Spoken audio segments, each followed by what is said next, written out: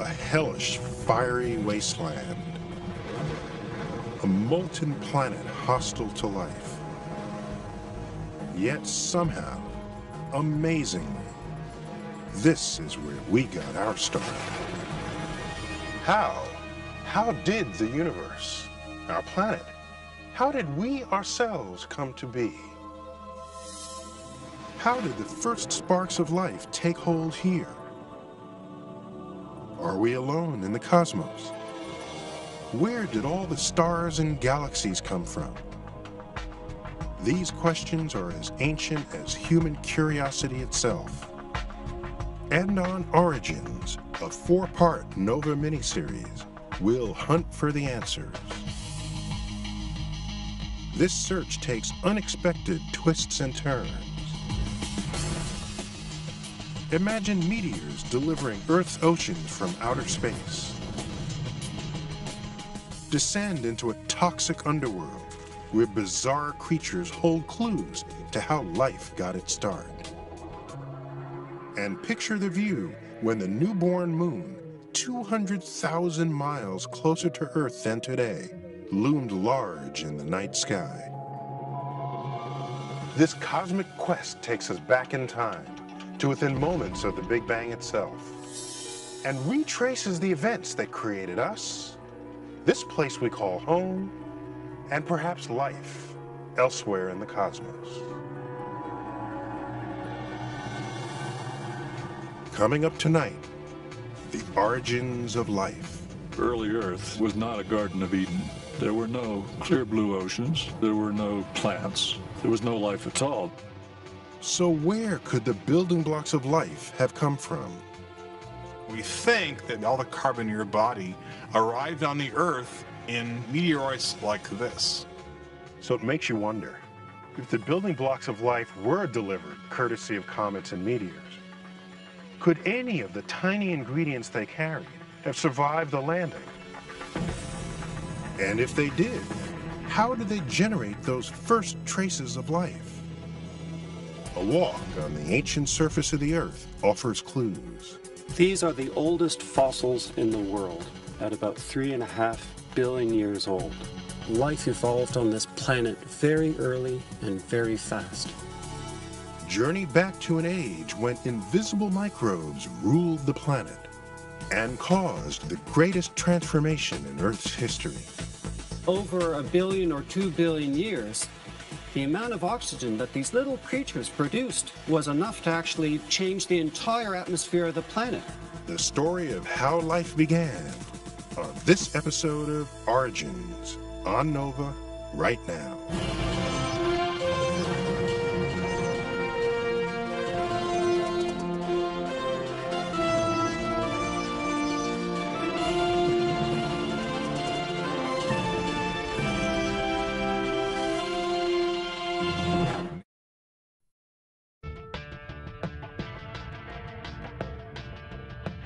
In the endless reaches of the universe, Earth seems unique. It's a planet shaped and molded by life. A planet that six billion people call home today. But when it was born, some four and a half billion years ago, Earth was a violent place. So hostile, it's hard to believe life could ever begin here.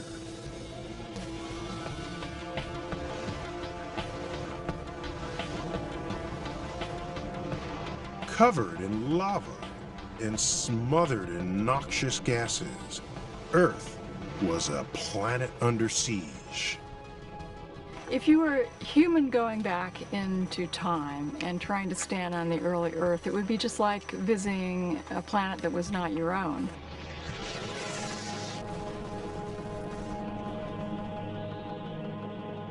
This was a hazardous world, uh, no doubt about that.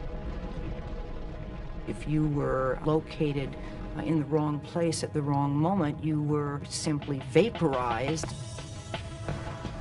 It was a planet plagued by catastrophe.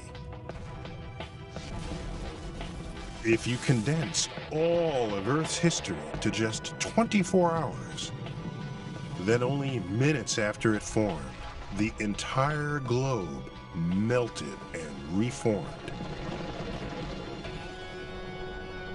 Then, to make matters worse, another planet about the size of Mars slammed into Earth. A cataclysm that created our moon.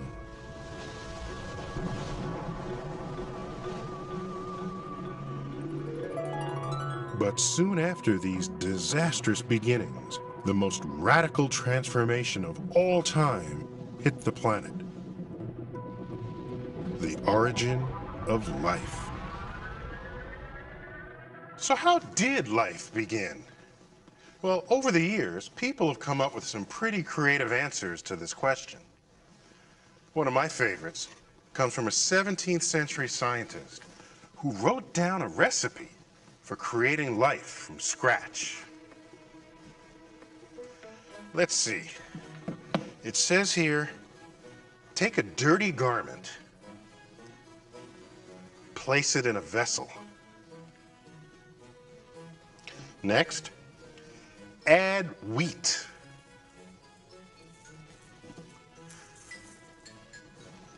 Then, according to the recipe, after fermenting for 21 days, mice will appear, fully formed.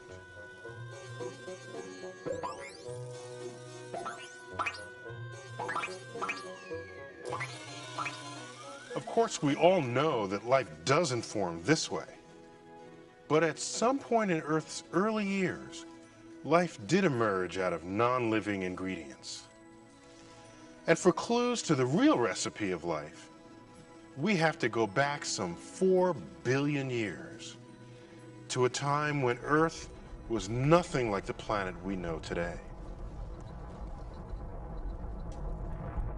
When we think of early Earth, we must recognize it was not a Garden of Eden. There were no clear blue oceans. Uh, there was no clear water. There were no plants. There was no life at all.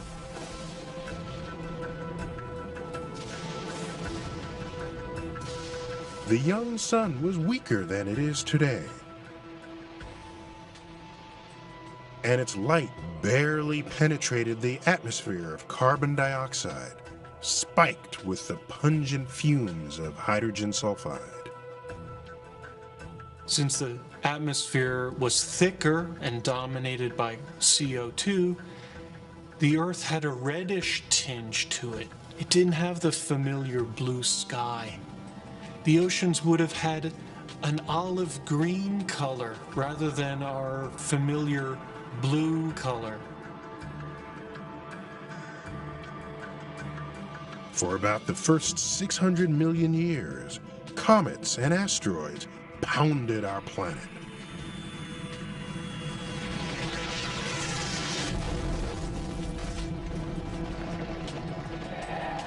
A time known as the Heavy Bombardment.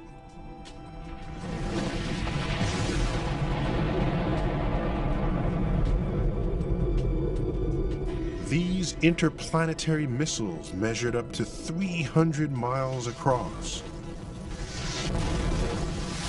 Their impacts vaporized Earth's oceans and melted its crust. With its extreme temperatures and toxic rain, seemingly nothing could survive here. But we now think that in this hellish environment, life first took hold.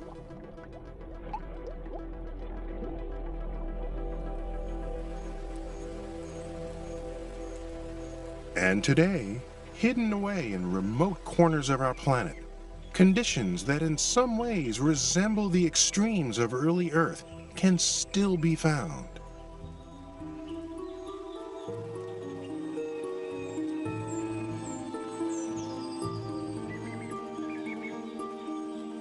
Penny Boston and Diana Northup are microbiologists on an expedition to investigate how life can survive in those harsh surroundings.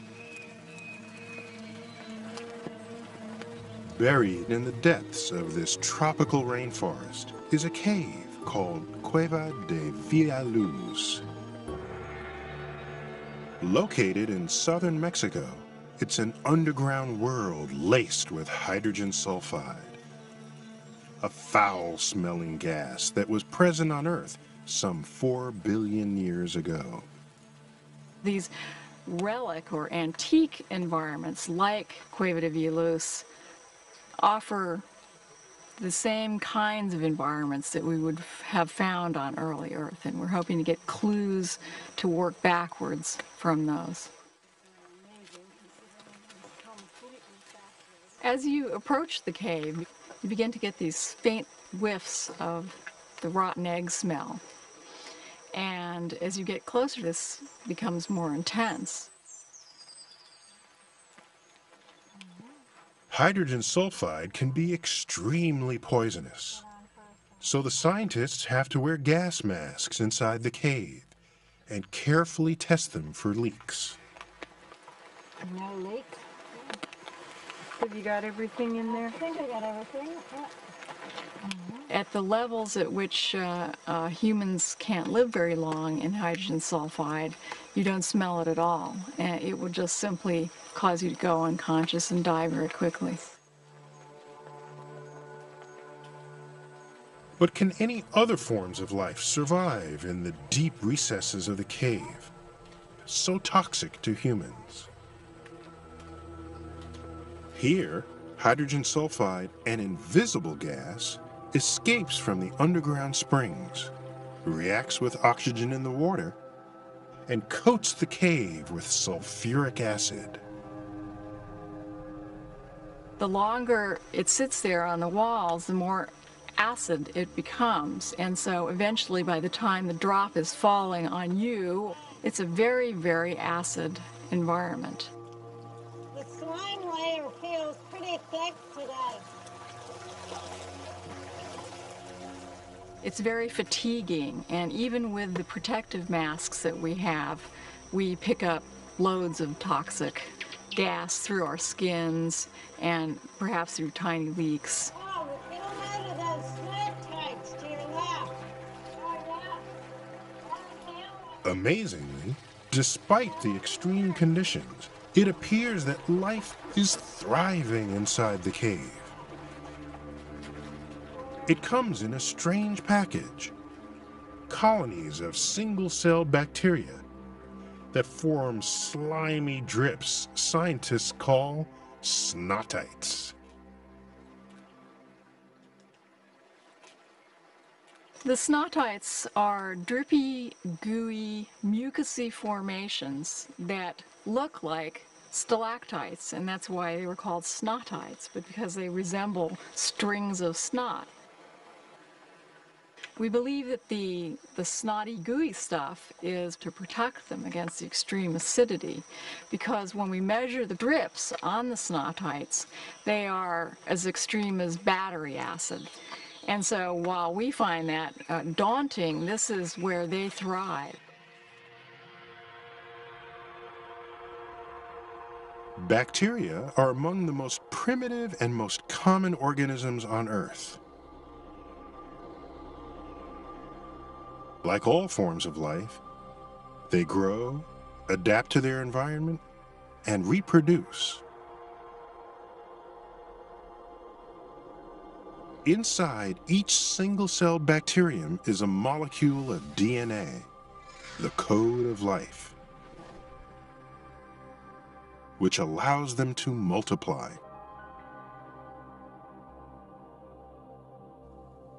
There are millions of bacteria in each snotite.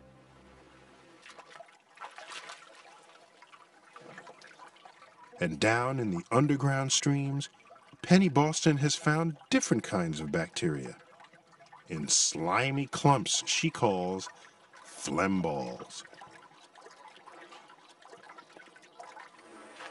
In fact, the cave is home to a huge number of bacterial colonies. And astonishingly, instead of being poisoned by the hydrogen sulfide, these bacteria depend on it for their survival. They take the hydrogen sulfide and they get chemical energy out of it. It doesn't poison them, it's home sweet home for them. And this is a pretty new finding for these organisms. Conditions on early Earth may have been far worse, but these bacteria suggest that primitive life could have thrived in extremely hostile environments. But where did the very first life come from? For more than a century, scientists have known that life is the result of chemistry, the combination of just the right ingredients in just the right amounts. Today we know these ingredients aren't things like dirty garments and wheat, which people used to think would spontaneously generate mice. The ingredients of life are actually much simpler. All living things, from bacteria to mice to you and me, are made from a small set of chemical elements. Hydrogen, oxygen, carbon, nitrogen, four of the most common elements in the universe. Combined in just the right way, these are the fundamental ingredients of life. And carbon is the star of the show. Carbon's everywhere. It's all over the universe. What makes carbon special is the kind of bonds that it makes, both with itself and with other elements. We know of no other atom that has the flexibility that carbon has to form diverse types of compounds. And the idea that life could have started when carbon and other ingredients combined in the harsh conditions of early Earth was first put to the test in the 1950s by a young graduate student named Stanley Miller.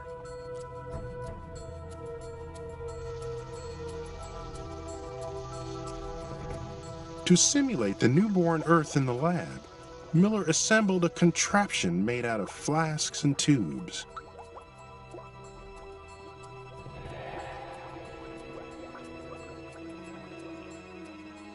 He filled one flask with gases thought at the time to represent Earth's primitive atmosphere. And he connected that to another flask with water to represent the oceans. And then he did a brilliant thing. He simply put an electric charge through that to essentially simulate lightning going through an early atmosphere.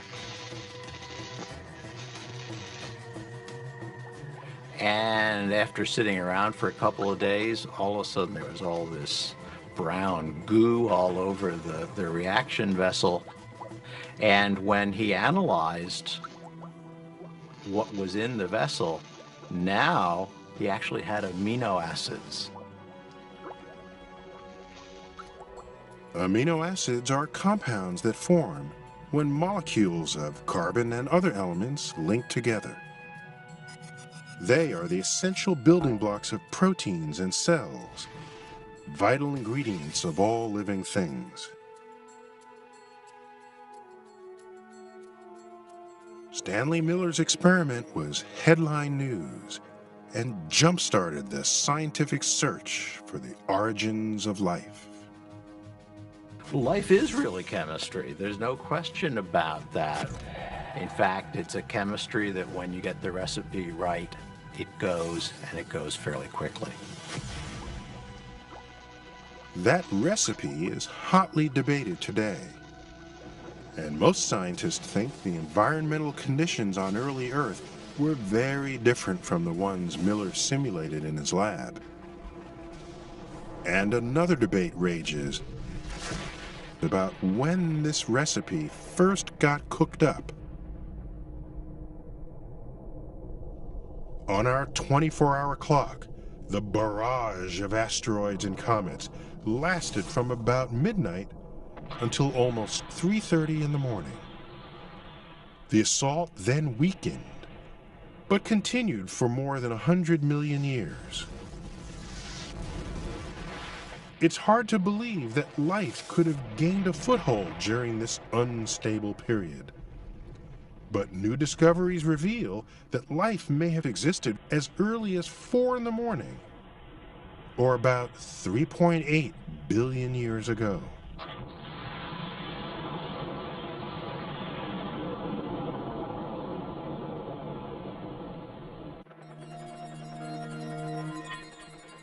The evidence comes from some of the oldest rocks on the planet, found in the remote regions of West Greenland.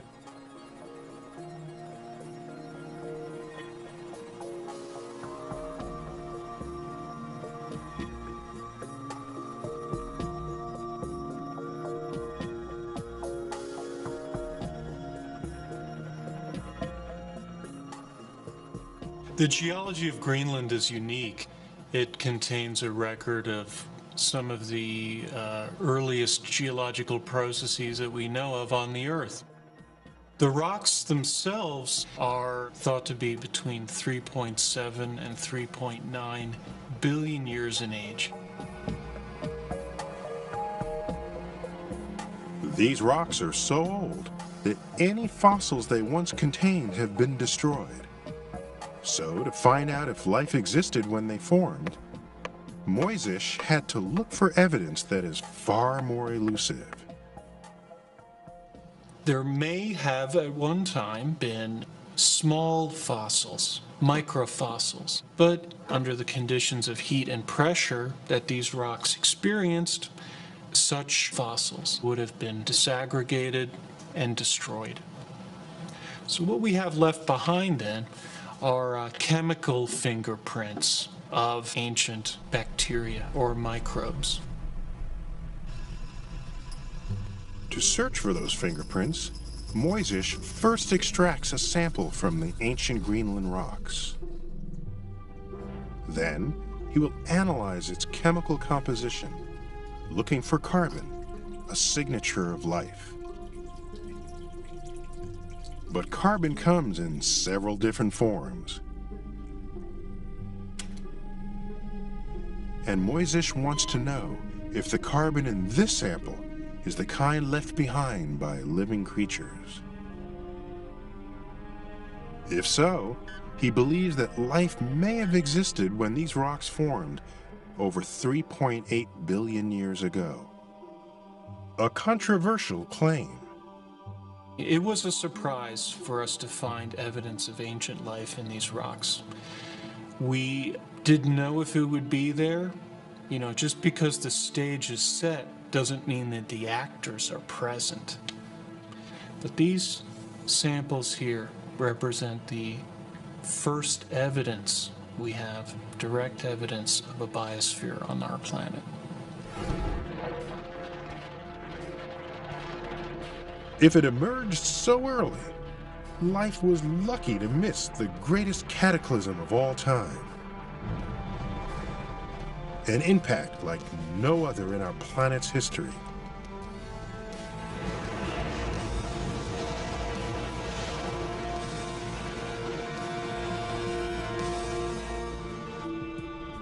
It happened when another rocky sphere about the size of Mars collided with Earth. The outer layers of our planet were vaporized, and the debris from this collision coalesced to form the moon. That impact was so powerful that any building blocks of life that existed on Earth would have been destroyed. This gives rise to speculation that the ingredients of life didn't form on Earth at all, but arrived special delivery from outer space.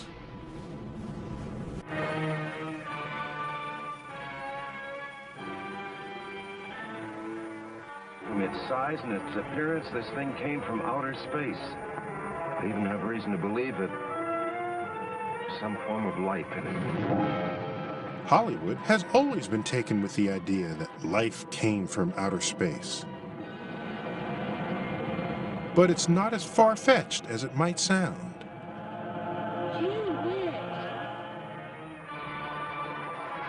Space is not very far away. Space is only about 20 kilometers that way.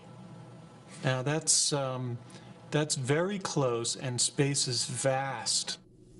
And a scientist named Don Brownlee designed an experiment to find out if space might actually harbor the building blocks of life. There are 40,000 tons of bits of comets and asteroids that impact the Earth every year. This is mostly in form of particles that are less than a millimeter in size. We breathe them, they're in the food that we eat, but they're very difficult to find. You can only find them in very special places. To see if this shower of space dust contains the ingredients for life, Brownlee needed to obtain samples uncontaminated by Earth's atmosphere. So, to get just a few micrograms of dust, he commissioned a former spy plane to fly close to the edge of Earth's atmosphere.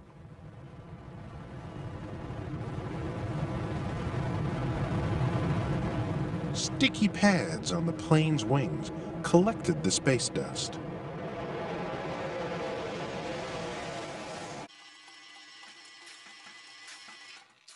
Then, Brownlee's colleagues sliced the dust particles into slivers less than one-tenth the thickness of a human hair.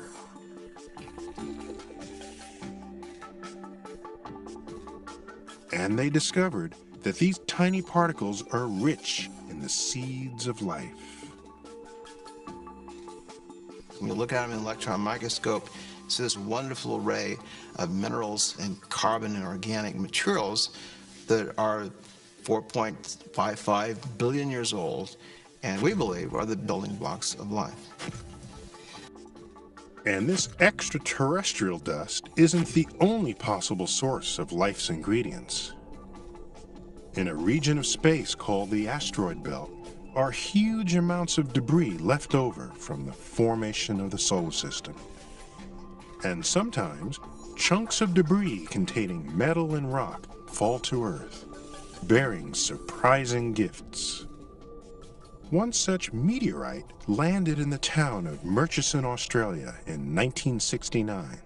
It's a gold mine, this little chunk of meteorite which fell on Australia last year. For the past six months, they've been taking it apart and have discovered it contains amino acids, the building blocks of life. It was the first time that complex organic compounds had ever been found in material from space. And if meteorites like it were common, perhaps they had delivered vast quantities of the original constituents of life to early Earth. Enough organics are present here that we think that meteorites like this provide to the early Earth its entire budget of organics. So all the organics in your body, all the carbon in your body, uh, and in your lunch you had today, arrived on the Earth in meteorites like this.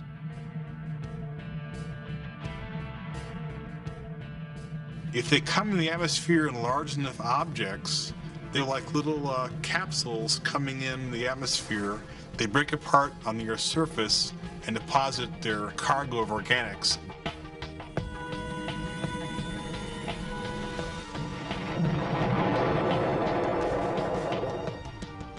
More than 70 kinds of amino acids have been found in meteorites.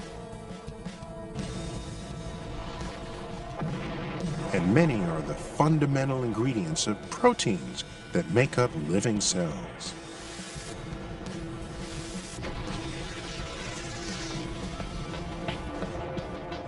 During the heavy bombardment, millions of meteorites may have seeded the Earth with the stuff of life. And there might have been an even more efficient delivery system. Comets are like giant dirty snowballs made of ice and rock. Some comets that hit the early Earth were the size of mountains. and a large portion of their mass could have contained organic compounds.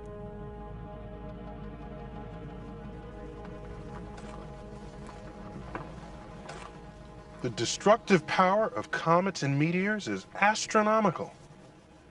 The meteor that slammed into Earth some 50,000 years ago, here in Arizona, blasted a hole in the ground nearly a mile wide. From here to here. And so deep, it could hold a 60-story skyscraper.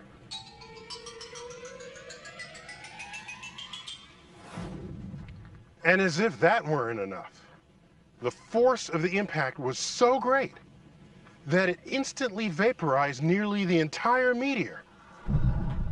300,000 tons of it.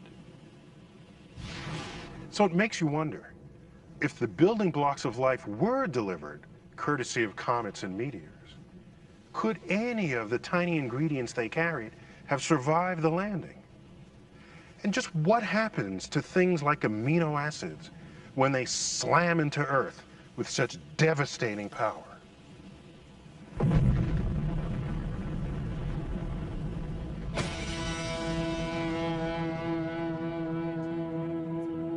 To answer those questions, one scientist came up with an ingenious experiment. Using a huge gas-powered gun, That's good. Stop. Stop. Jennifer Blank simulates the extreme pressures and temperatures that are unleashed when a comet smashes into Earth. We set out to test whether or not the materials would survive or whether they would break down. And we expected that, or we were hoping that some fraction would survive. And we figured the parts that didn't survive would break down into smaller components. But in fact, what we found was much more exciting. The gun fires a bullet at 5,000 miles an hour towards a sample that represents the organic molecules inside a comet.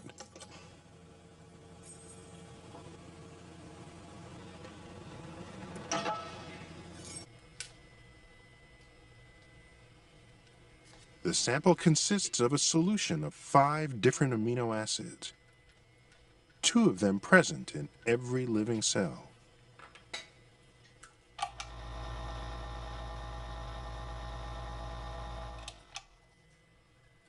The mixture is inserted into a steel capsule. The gun will send a shockwave through the capsule, simulating the extreme pressures of a comet's impact.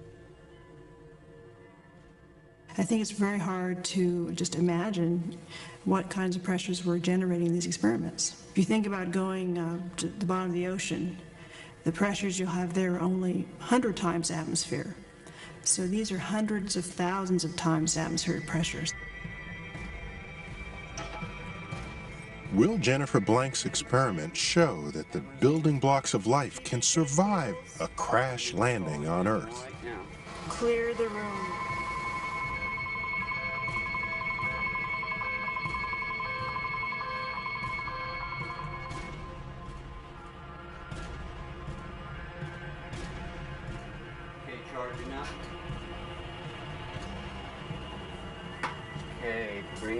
X-rays. Okay, I'm going external group. Ready to fire? Go ahead. Okay, then three, two, one,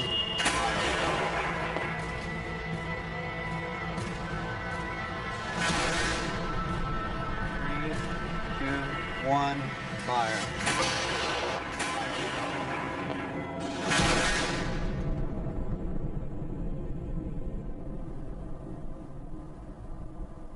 When they remove the capsule, it's undamaged. But have its contents survived the impact? The once clear solution of amino acids has turned a tarry brown color.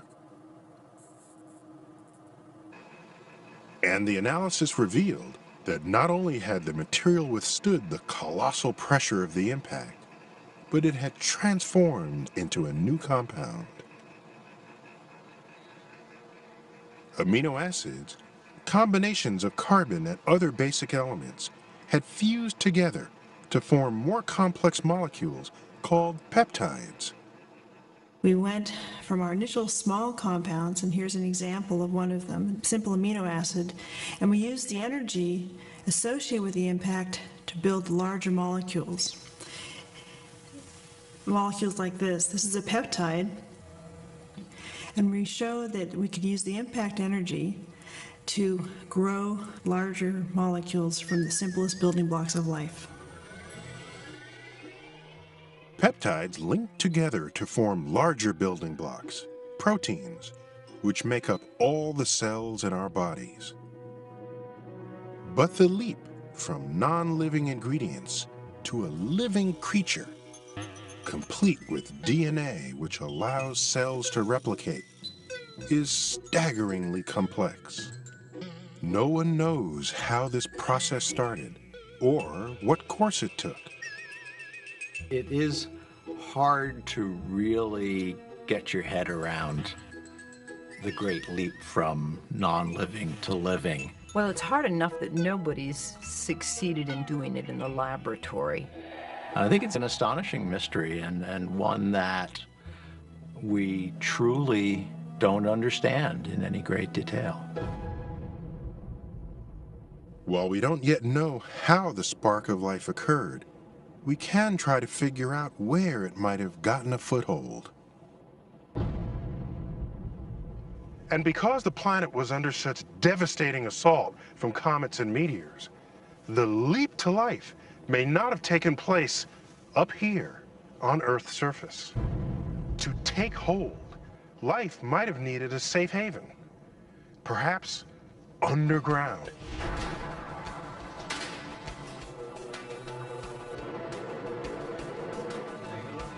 A team of scientists descends into one of the deepest mines on Earth to investigate whether microbial life can survive far below the Earth's surface. And the mining environment gives us this fantastic window into the deep subsurface. It's a unique scenario because there is nowhere else on planet Earth that allows you to have access to that sort of sample location at two, three, three and a half kilometers deep.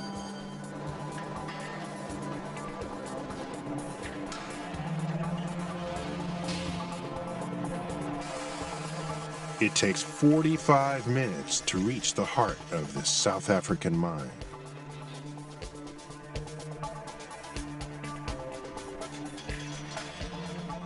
Conditions here are extremely uncomfortable. For humans, that is.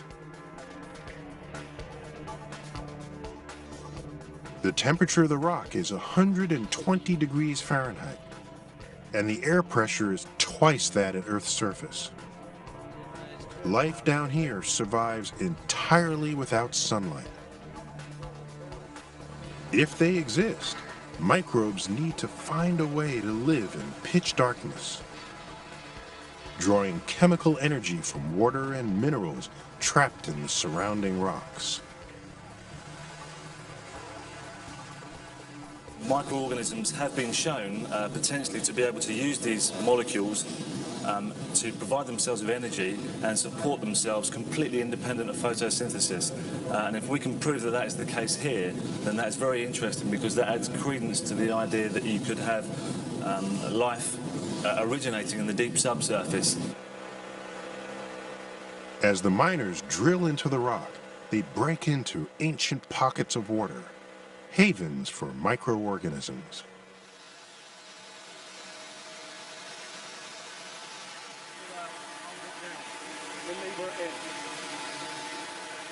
We're not sure how organisms can live in such extreme environments. The major thing is there's such low uh, nutrient availability. There's nothing really for these guys to continually use and process to survive. And yet somehow they do. And the question is, how do they do it? Three, two, one, go. The first step is to collect pristine samples of the water and see if they can grow the microbes it contains. I get a very big sense of achievement if I can actually take something that's been isolated for 200 million years, put it in the laboratory, and actually find out what it is this organism needs to survive.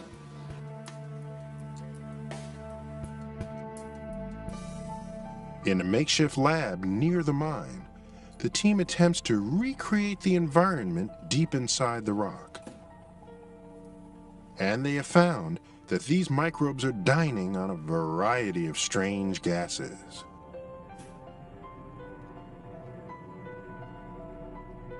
It turns out that in the deep subsurface there's a, an abundance of, of methane gas and ethane and propane. Now, for you and I, that's not a very exciting diet, but what we think is that these organisms may be taking that kind of gas and actually using that as a food to survive.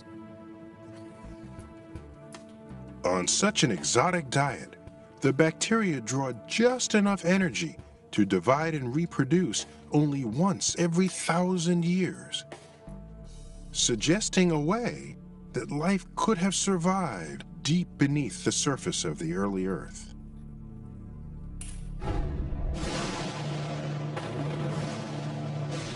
An Earth's crust may not have been the only place where life could have hidden from the heavy bombardment.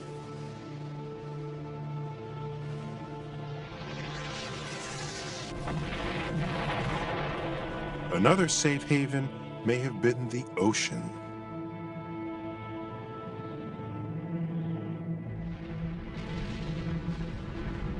Volcanic activity was intense on the early Earth.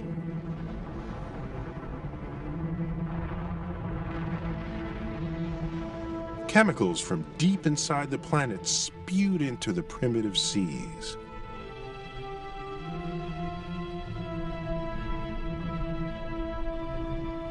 Even today, marine biologists have discovered volcanic vents on the ocean floor.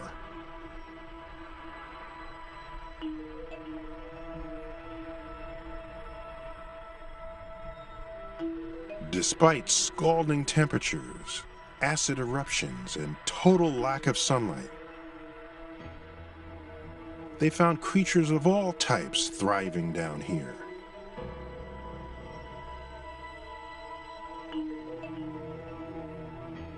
And at the bottom of the food chain are microbes that live on the noxious hydrogen sulfide gas erupting from the vents. On early Earth, primitive life may have survived in similar environments. If all of the bombardment was occurring near the surface, survivors would be existing in just these kinds of hydrothermal vent communities where there's abundant water and nutrients and heat and food in the form of chemical energy. It has been found that organisms collected there nowadays are genetically kin to some of the earliest organisms that we think existed on the earth.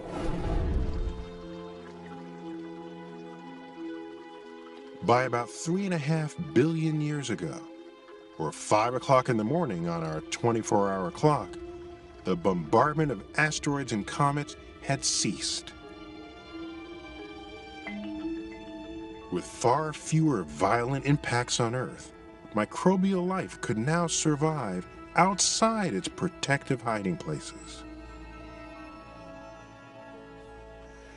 After it reaches Earth's surface, life would take advantage of another source of energy the sun. Up here, microbes evolved a green pigment known as chlorophyll. This allowed them to trap sunlight and use it to drive a chemical reaction that converts carbon dioxide and water into food called photosynthesis. It was a clever invention that enabled some bacteria to grow and reproduce almost without limit. Once it started, photosynthesis was a runaway success. And today, it's how all green plants make their living. As Earth cooled, this new generation of cells spread across the oceans. Immense colonies of green slime would take over the world, kicking off the greatest transformation in our planet's history.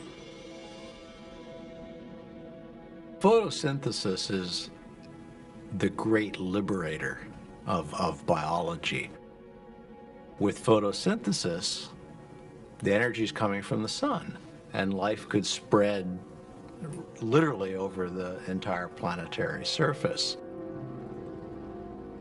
And this remote corner of Western Australia holds clues to how that happened. These domed structures, called stromatolites, are built up layer by layer over thousands of years by tiny microbes. These microbes may be similar to life forms that dominated our planet billions of years earlier.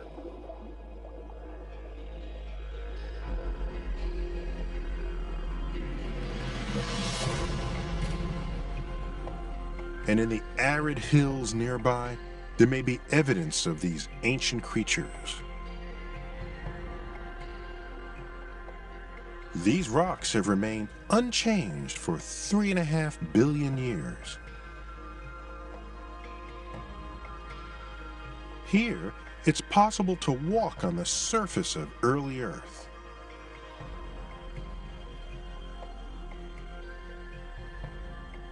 Martin van Kranendonk spends months at a time in this wilderness, studying the geology and producing maps.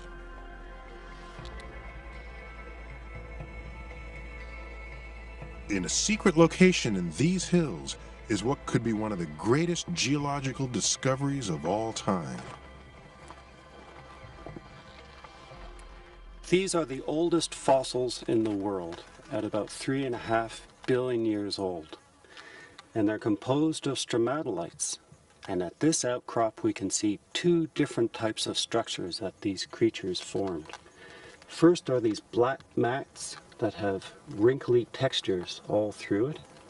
And the second are these larger domes that form these broad structures. The most likely way these things formed is by the growth of microbes. Like modern stromatolites, these ancient structures could also have been built by colonies of bacteria. And not far away are fossilized ripple marks, which suggest they might have grown in shallow water.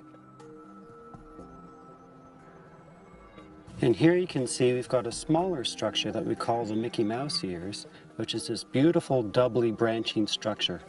And there's nothing else that we can think of which would make that except something that was growing on the bottom of the ocean.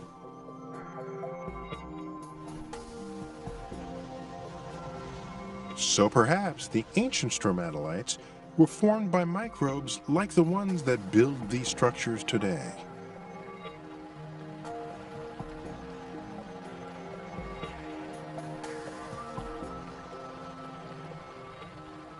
These big stromatolites are composed mostly of rock at the bottom, and the only living part of the stromatolite is a thin layer on top.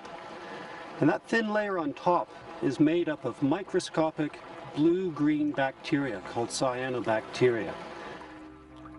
Named after the blue-green color of their cells, these cyanobacteria use photosynthesis to collect energy from the sun. They secrete a sticky coating to shield them from ultraviolet radiation. As tiny pieces of dust and sediment settle on top of the sticky cells, the bacteria migrate closer to the surface to reach the light.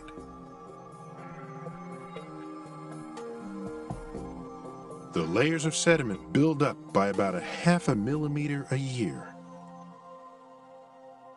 These structures contain living microbes, just as they have for thousands of years.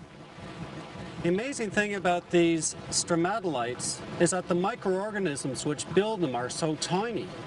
And the structures that you see around me, compared to their size, are enormous. It'd be like if humans made a skyscraper that was 105 kilometers high by 70 kilometers across. These are massive structures for the size of the organisms that make them. Many different shapes and sizes of what appear to be fossilized stromatolites have been found in the rock.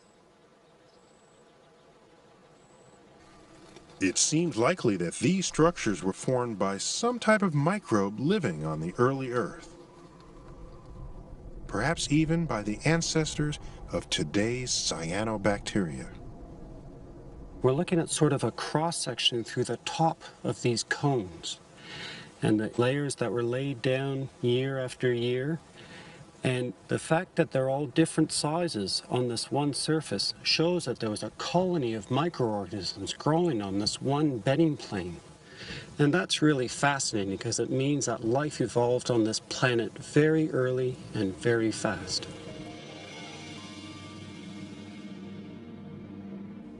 And it's the cyanobacteria that would bring about the most astounding change in Earth's history. A change that could have started as early as three and a half billion years ago. Over time, stromatolites would spread out across the planet. As a byproduct of photosynthesis, the ancient bacteria produced a waste gas, oxygen.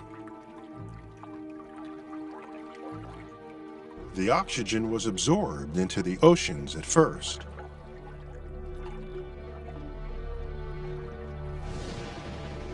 There it combined with iron erupting from undersea volcanoes to form iron oxide particles that fell to the ocean floor. Over the next several hundred million years, the planet literally rusted.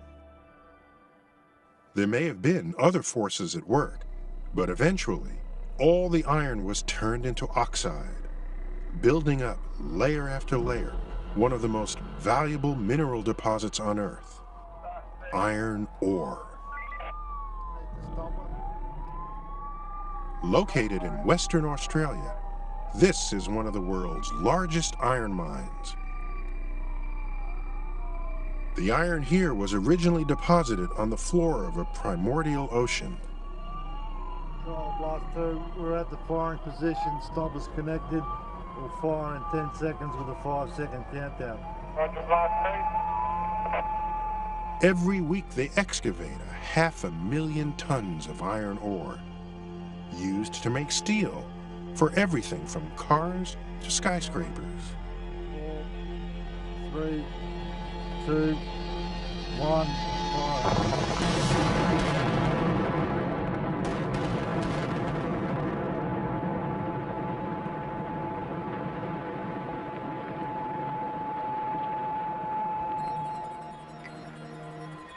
In a more pristine state, thousands of ancient layers of iron ore are preserved in the Karijini Gorge, just 30 miles from the mine. The layers exist because different amounts of iron oxide were deposited at different times of the year. Cyanobacteria produced oxygen in varying amounts as water temperature changed with the seasons.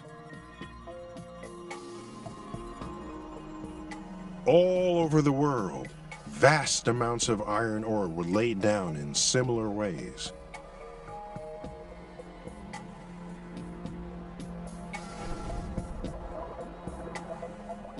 On our day-long clock, this process continued until 1 in the afternoon.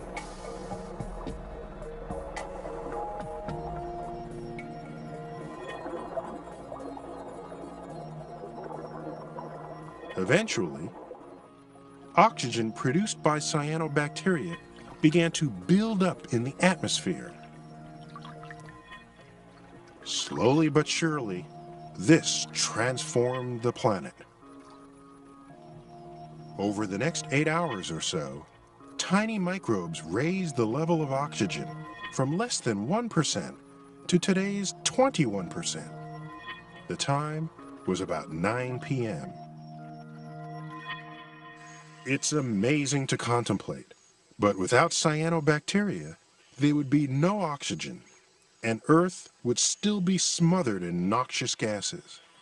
plants, animals, and humans would have never evolved. We're sitting here today breathing an oxygen rich mixture of air. We couldn't be here without that oxygen, but that oxygen wasn't present on the early Earth, and it only became present because of the activity of photosynthetic organisms.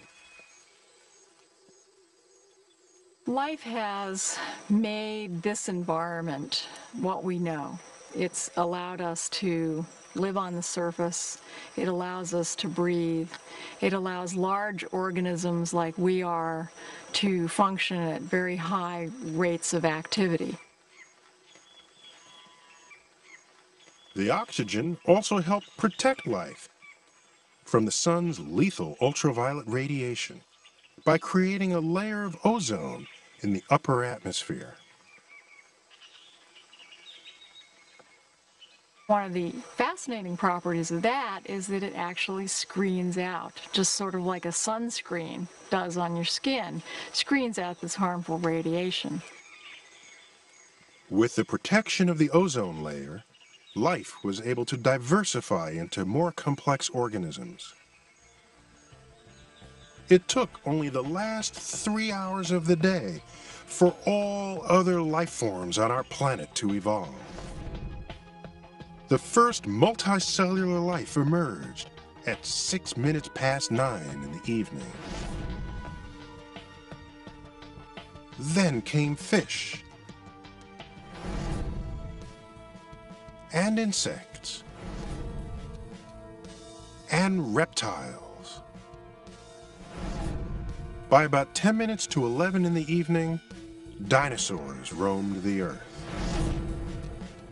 The first primates appeared at 20 to midnight. And with less than 30 seconds to go, the first humans made their appearance. It's only been the last, you know, 10% of the Earth's history where there was life on the surface of, of the Earth uh, that you would see with your naked eye. So for most of Earth's history, life has basically been invisible on the Earth. Over a billion or two billion years, the amount of oxygen that these little creatures produced was enough to actually change the entire atmosphere of the planet.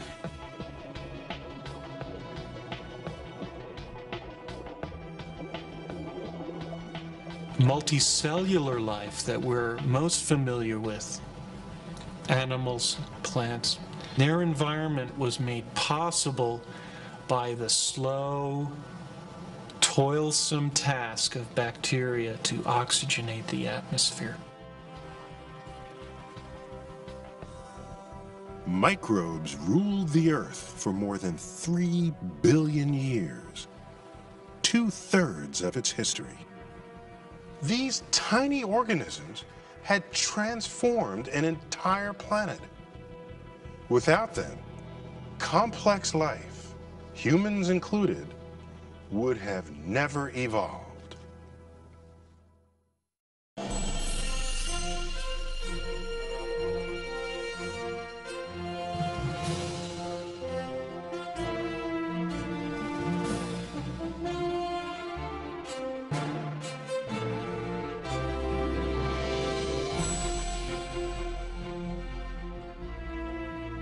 Order this program on VHS or DVD, or the book Origins 14 Billion Years of Cosmic Evolution, please call 1 800 255 9424.